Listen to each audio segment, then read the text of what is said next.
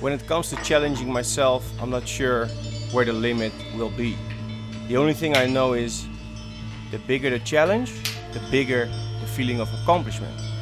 So when I got invited to Taiwan to climb up to 3275 meters, my only answer was challenge accepted. It's 4 o'clock in the morning. Today I'm doing the biggest climb I've ever done. Taiwan KOM Challenge. What's up guys? What's up guys? What's up cycling fanatics? Hey guys, welcome to another video. The guy in the green hoodie, that's me, Jasper. And in this little mini video series, I'm gonna take you along my trip to Taiwan for the Taiwan KOM Challenge. A race from 0 to 3275 meters of elevation. One of the biggest climbs you can do on a road bike. I got invited to be part of the press team together with my buddy Bruno. This is Bruno. This race attracts pros from the entire world with a big amount of prize money. In these videos you'll see our travel schedule, you'll see me talk about the bike for the race, all my preparations, including my food and my gear. Pretty much 80 grams for every hour. Everything for after the race is in this bag. And of course, race footage. One hour in the in the climb, about an hour and a half in the ride. including a complete suffer fest. During and after the race, there was a lot of suffering.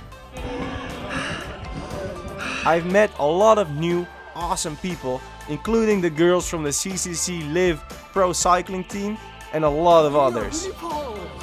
I'm not pro. I'm a pro baby, baby diaper changer now. You, you picture of us. Picture. Who's me? You, You, you, you make picture. may I wish you take a picture? no, you. After showing you guys our travel schedule, our first ride in Taiwan, everything about my bike and all my preparations, it's now time for race day. What's up guys? What's up cycling fanatics? Friday morning, October 25th. 25th? 25th. Today it's time for the KOM challenge in Taiwan. Dude, super early, smashing in a quick little overnight oatmeal that I prepared yesterday. And um, I'm gonna roll out for the start. Wish me luck. So I've prepared everything last night. It actually got a bit late. I didn't go to sleep until like 10.30. But if you want to see how I did that, you should watch the previous video. This is Bruno. He's here as well. I'm not ready. Bruno's gonna ride up as well. I just have to start my oatmeal. Get your oatmeal. Well, breakfast. So I've got a lot of food to take with me. Pretty much 80 grams for every hour. And then everything for after the race is in this bag, which is going to the organization. Got extra batteries for the GoPro, banana for the start. Like, that's it. Rock and roll. Full. Yeah. Maybe. Many people going down. Um, okay, maybe maybe we should try the other one after all. Nathan, what's up, man? How are you feeling? What time is it now in Europe? It's 10. Like 10 p.m. 10 p.m. It doesn't count anymore. It's like going for a late night ride. We're in China, Taiwan. Sorry. this is our elevator. Maybe not. A little longer than a few minutes later. Elevators were definitely one of the biggest challenges of today, but uh, we made it. We'll pump up for the tires and we're ready to go.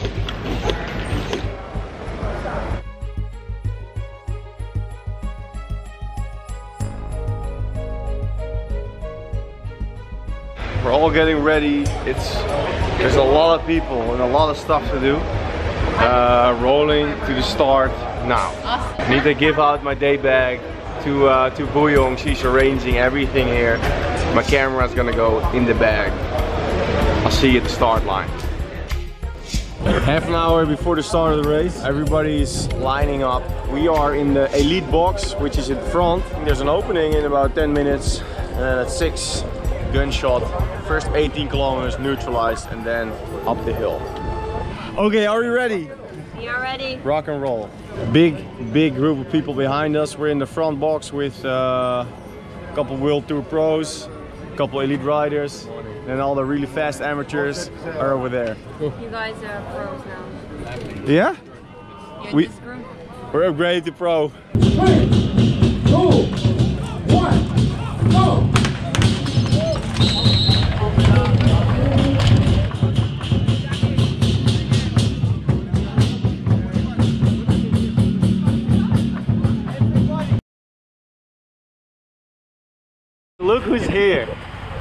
you cycling fanatics. That's it, the one and only Maven. How, how have you been, man? It's been a long time. Are you ready? I'm ready to go out the back. I'm like, from the last time you guys saw me, I'm 20 kilos heavier. He- We made a promise that whenever I would come back to Australia, he was gonna be fit. I'm not. You're not I'm ready. not. Ah, good luck for you, man. Thanks, bro. I'll see you at the top. Yeah, we'll see each other at the top. We'll see each other at the top. His famous last words. The Taiwan KOM challenge was another opportunity for me to push myself to the limit. The question wasn't if I was gonna get up there. The question was how fast. The first 18k was flat and neutralized and then the race started. This is where the climb starts. So how long would I be able to hang on with the first group?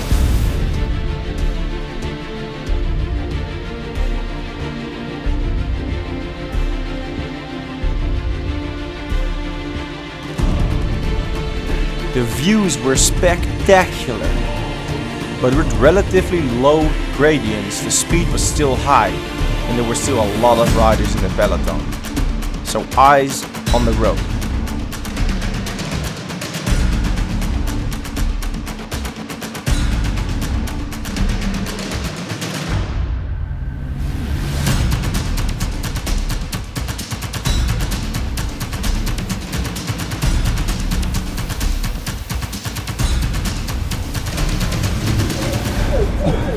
Okay, one hour in the in the climb, about an hour and a half in the ride. Still with the first group.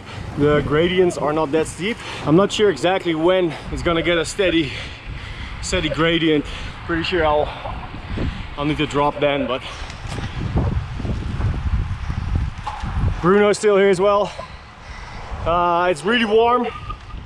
It's humid. We're gonna go in the clouds pretty soon.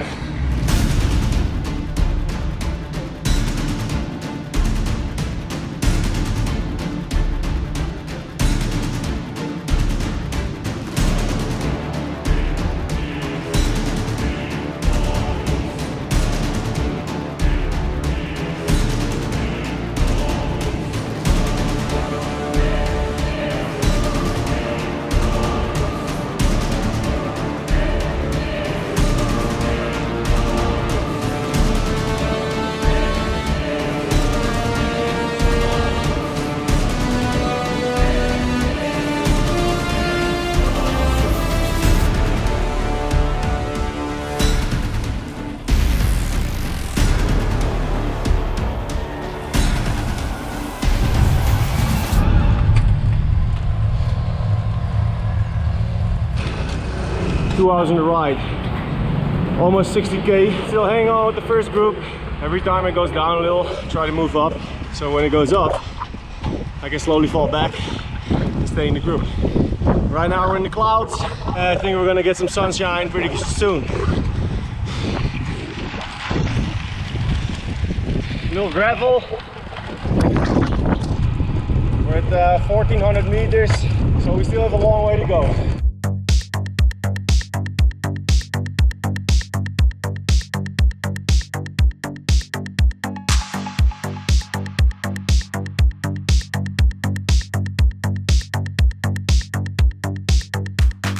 Five minutes later. Okay, that's it. 61k.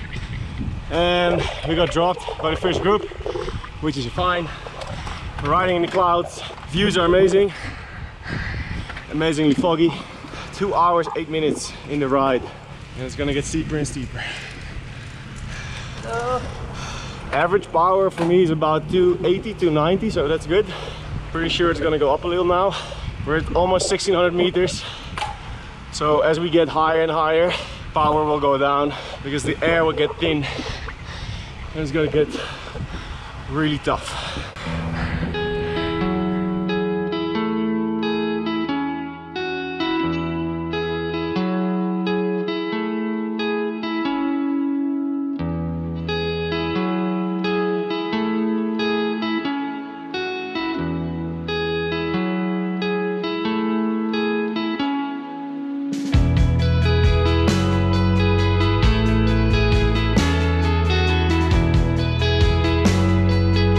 Seventy-one on the clock. Sun's breaking through the clouds. We've got a nice group, about six guys, rotating a little bit, conserving energy for those last 10 kilometers. Temperature is 13. We've got some views back. 1995 meters.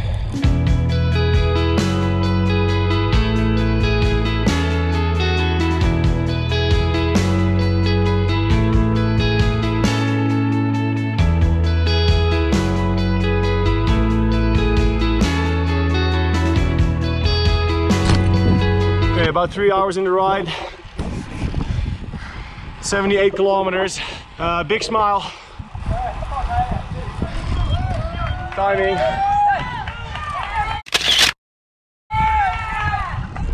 Not a feeding station. I'm okay, thanks.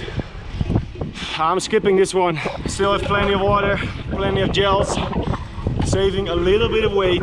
There's another station in about 10 kilometers.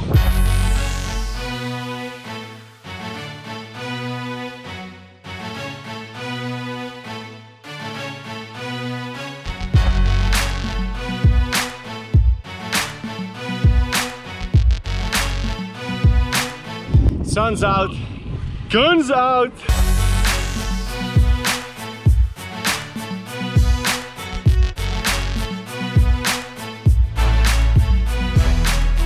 Check it out, fantastic. There's gonna be a descent soon, and then it's gonna be hell to the top.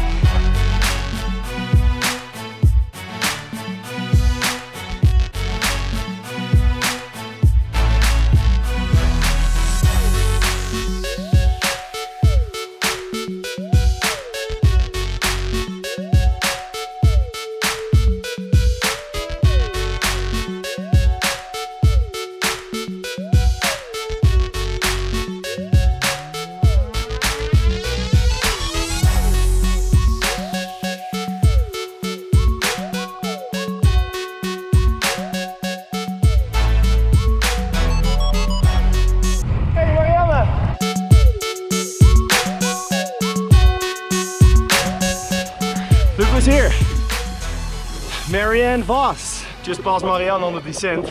We're back to uh, 2,560 meters, 87k. I'm feeling great.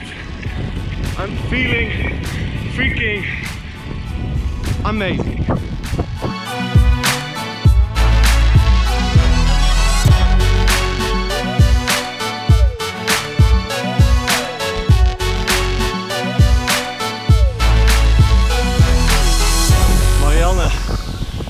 Wat gaat er door je heen? Nou, ik dacht net, dat is niet ver meer. Het is nog maar 15 kilometer. Het is nog maar 15 kilometer. En nog maar 1300 meter omhoog. Ja, nou. Vanaf nu wordt het eigenlijk pas zwaar. Het probleem is dat ik nu al hoogte voel. Ah, geeft niet. Ik vind het leuk dat ik jou nog tegenkom. Gewoon rustig blijven, Zo. blijven trappen. Volgens mij is dat... eh, Als je je benen blijft draaien, kom je vanzelf boven. Zie je naar de finish. Okay, 90k into the ride.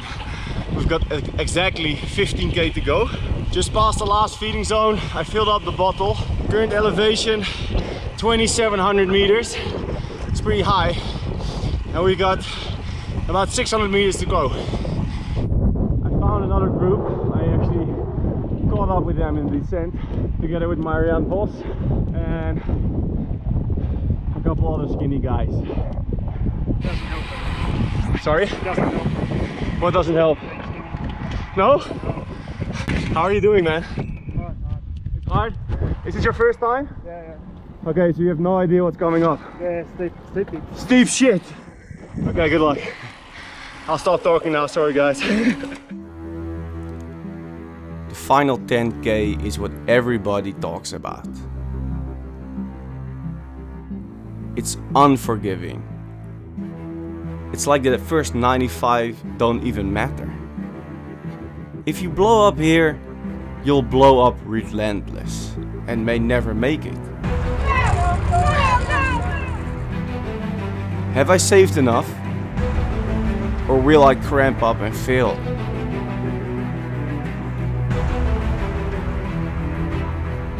All I know is there's nothing to it than to do it. Full gas.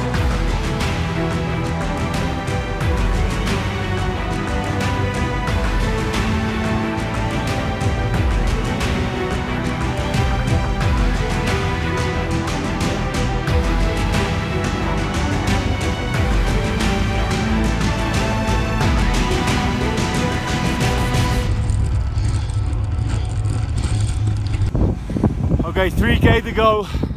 Tiny little dip around this corner. And then we're gonna go up the last 2k, which is all gonna be steep. I can see the top. I can see the finish. This is fucking awesome. Right there. Here we go.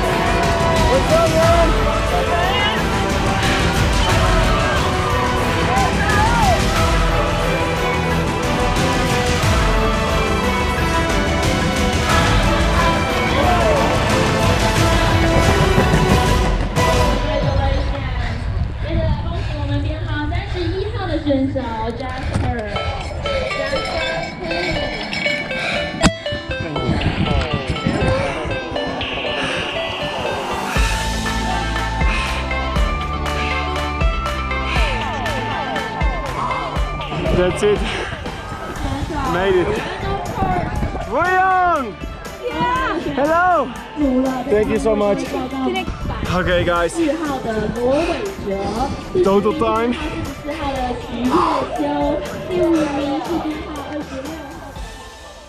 My total time was 3 hours 56.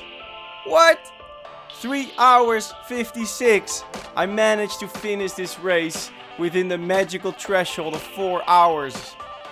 The feeling I had climbing to the top and crossing the finish was indescribable. I didn't win the race, but that's not what I came to do. I completed another challenge against myself.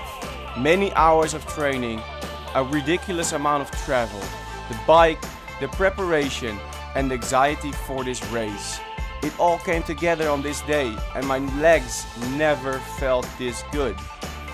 Climbing up a ridiculously high mountain in one of the greatest events I participated in and pushing myself yet to another limit, this is what I absolutely love doing. I would not hesitate to do it again. And by the way, if you wanna go for the win, you need some super, super skinny legs. Thanks for tuning in, guys, and going on this adventure with me. There's only one thing left for me to say. I'm gonna see you next time. See ya! What's up, Denmark? Hey, man. How's it going, man? Great job. yeah. You too, man. How did it go? Really good. I felt freaking awesome, man. I'm Until having when? Until when? until the finish. Until the finish? I was powering to the finish, but after the finish, now I'm having cramps. I know what you feel. I was riding with Marianne Vos pretty much the last hour. Oh, yeah? Yeah, Did you beat her or she oversprint you at the end? The I actually beat her. Rider number one three. But check it out. Another freaking Gran Fondo medal. How's that? Boom! eight years now, and it's a lot of work organizing saying English herding the cats. I shall translate the Chinese in just a moment. This, uh, Please this, is, hold. the, this is the side of the video. Oh, I'm supposed to be over here. I'm sorry. Okay, stop with the zoom.